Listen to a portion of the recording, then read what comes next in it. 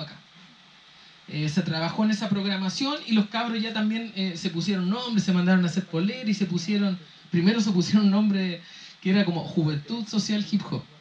Después cambiaron el nombre a eh, JPPP, Jóvenes por la Paz de la Pobla, y ahora están en un proceso también de, como de desligarse también de lo que del discurso nuestro, sino que ya quieren conformar su propio equipo con elementos propios de ahí, con un nombre no tan ñoño, digamos. Eh, y nosotros realizamos, le, eh, la, lo hemos acompañado hasta el momento, en estos dos meses que terminamos, ya en dos actividades. Una fue la... la como, no, no, pues ese fue como detonante, fue el último que hicimos, ¿cómo se llamó? El encuentro hip hop por la paz. Hicimos un encuentro hip hop de la, por la paz. Ahí nosotros fuimos sin, sin polera, sin, sin el pendón, digamos, porque ya era una actividad propia de, de ellos facilitamos la amplificación y aspectos como más logísticos, ¿cachai? Pero, pero ya una, eh, es algo de ello, también lo responsabilizamos. Eh, tuvimos la oportunidad también que Yu Cancheta, invitado acá que en un ratito más va a hablar, también pudiera ir en la noche, conversar con los cabros ahí en la plaza también. Eh, y están preparando una actividad para el 14 de febrero, que es la celebración del Día del Amor, ahí en la, en la, en la plaza. Eh, porque también o sea, el calendario que hicieron no es tan, tan hip hop o rapero, sino que también tiene mucho que ver con los hitos comunitarios que se hacen ahí, que es la Navidad.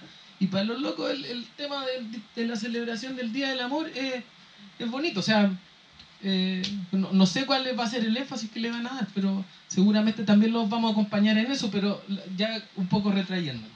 De hecho, en, con respecto a lo que dice Nelson, también ellos se involucraron con un tema comunitario que hicieron la Navidad para los invisibles, que le fue, eh, pidieron en la, en la feria eh, que les donaran distintas frutas, verduras, lo que fuera, y le hicieron una cena a la gente en condición de calle de la misma pobla. Bueno, y, lo, y los productos, digamos, los productos que estaban comprometidos y, y, y, finalmente que lo logramos generar fue, uno, un mapeo de actores juveniles relevante para el desarrollo del proyecto. O sea, porque cuando uno llega, por ejemplo, de hecho nos decía, no, si a nosotros la MUNI nos pasó el catastro, una tabla Excel, con el número de organizaciones juveniles que hay en el sector, con personalidad jurídica, pero es una cuestión de los años 80 que solamente tiene, eh, entienden la participación como la inscripción dentro de un libro y como un trámite legal, y cuando sabemos que en la realidad no es así. El otro era la jornada de debate y reflexión sobre la violencia en el barrio, que fue este conversatorio que se hizo, eh, un documento con los resultados de esa jornada de debate, una jornada de capacitación en enfoque hip hop. Esta está pendiente, la verdad. La, la, verdad que no la hemos hecho porque estaba pensada como para que los voluntarios de techo, los profesionales que trabajaban ahí en el sector, pudieran.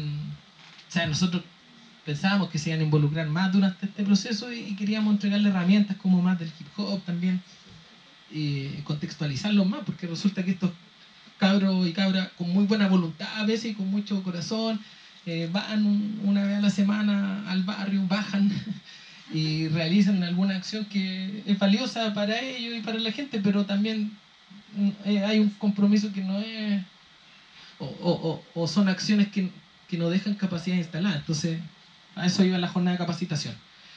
Eh, el calendario de planificación, que es esta agenda anual que se logró, y las dos acciones comunitarias que eran estas dos de acompañamiento. Y el informe, esto también está pendiente, el informe final de, sistematización. Eh, y les voy a mostrar una fotito de, de algunas actividades que se hizo ahí.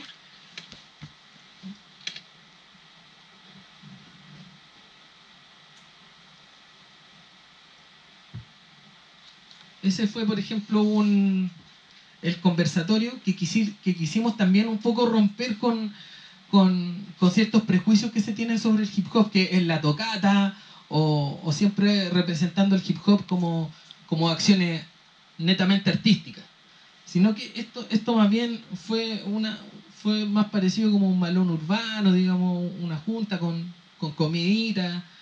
Eh, los chicos tomaron elementos así como son como propios de, de la educación popular, eh, que fueron guiando la conversación. Ahí, por ejemplo, hay otra vista de la plaza. Esto también fue como innovador, como como en un sector que igual está bien deteriorado desde blogs y todo, llevar estos quitasoles que son como de casamiento, fue, la verdad es que no fue tan pensado, sino que decíamos un toldo salía, porque era un día de mucho sol, entonces un toldo gigante salía caro y se iba a ver como actividad municipal. Y de repente cachamos que arrendaban esto, pues lo iban a dejar y a buscar. Eh, Nos ahorrábamos el tema del auto y todo, entonces lo pusimos y se veía como pituca la, la plaza. Con estas banderitas, la silla de la había harta comida también. Y, y, y, y como el, el, elemento como más hip hop también que teníamos era como el DJ con tona, que, que siempre como que representa, es como la puesta en escena. Eso fundamentalmente. Y ese fue el proyecto Cultura de Paz y que la verdad esperamos replicarlo porque fue una experiencia bastante bonita.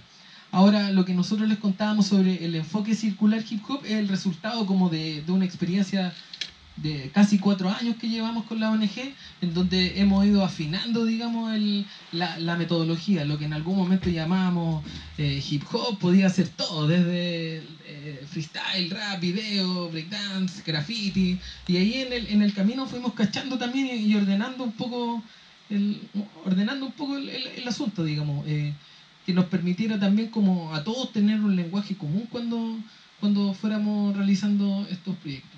Y eh, ese, ese enfoque, digamos, que aquí está planteado grosso modo, pero ya lo estamos desarrollando así como con detalle y con una cajita de herramientas, es que también queremos socializarlo, compartirlo con todos quienes están acá, que sabemos tienen un interés, hay activistas, profesionales, educadores, cabros interesados, cabros también interesadas en, en, en, en, en la cultura hip hop, en, darle, en cohesionar el movimiento, en armar red, entonces desde ya para nosotros es valioso cada uno de los que está acá.